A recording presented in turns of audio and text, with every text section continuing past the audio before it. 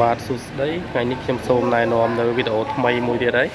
ចែកជូនដល់បងប្អូនទាំងអស់ដែលគាត់តែងតែប្រើប្រាស់នៃម៉ូតូអូតូបាទបើសិនណាជាម៉ូតូបងប្អូនដែលគាត់ប្រើហ្នឹងគាត់អឺមានបញ្ហាដូចជាម៉ូតូហ្នឹងវាមានលក្ខណៈដូចជាដួលឬក៏ផ្អៀងឬក៏វាមានបញ្ហាមួយដែលធ្វើឲ្យម៉ាស៊ីនរបស់ម៉ូតូហ្នឹងវាផ្ដេក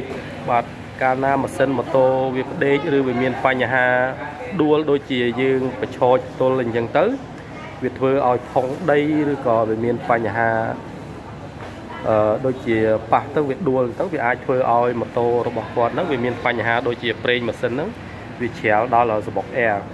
បាទគឺប្រេងម៉ាស៊ីនសបុកអែរបាទនេះគឺជាក់ស្ដែងខ្ញុំបានដោះមកហើយគឺបានឃើញសបុកអែររបស់គាត់ហ្នឹងគឺវាពោពេញទៅដោយសុទ្ធតែដី ហើយនឹងប្រេងបាទគឺប្រេងម៉ាស៊ីនឡើងហៀមកពេញតែម្ដងបាទនៅពេលណាដែលយើងបាទនេះមើលយើងដកចេញមកគឺវាហូរហូរសុទ្ធតែប្រេងបាទកាលណាម៉ូតូរបស់គាត់វាមានបញ្ហាបែបនេះគឺយើងត្រូវធ្វើការផ្លាស់ប្ដូរសបុកអែរចេញអឺដើម្បីឲ្យម៉ូតូរបស់គាត់នោះវារត់ស្រួលបាទម៉ូតូរបស់គាត់នេះគឺយើងមូលទៅវាឆ្លុះឆ្លក់បាទវាមូលហេតុមកពីម៉ូតូរបស់គាត់ហ្នឹងគឺគាត់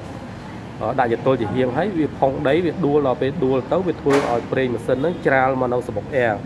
បាទមកនៅសបុកអែរដល់ពេលដែលយើងដោះមកហ្នឹងគឺមានប្រេងច្រើនមែនបាទនៅពេលណាដែលវាច្រាលប្រេងមកហ្នឹងគឺវាធ្វើឲ្យម៉ូតូរបស់គាត់ហ្នឹងវាមានបញ្ហា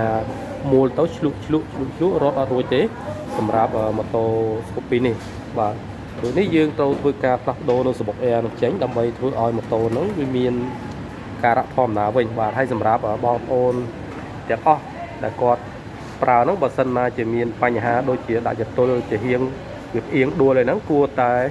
យកម៉ូតូហ្នឹងមកដោះសបុកអែរមើលដើម្បី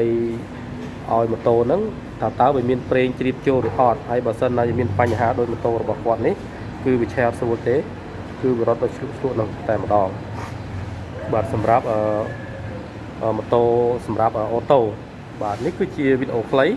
ហើយក៏ដូចជាចំណេះដឹងខ្លះៗដែលខ្ញុំចង់ចែករំលែកដល់បងប្អូនមួយចំនួនក៏ដូចជាអ្នកដែលប្រើប្រាស់សម្រាប់ម៉ូតូអូតូនេះផងដែរ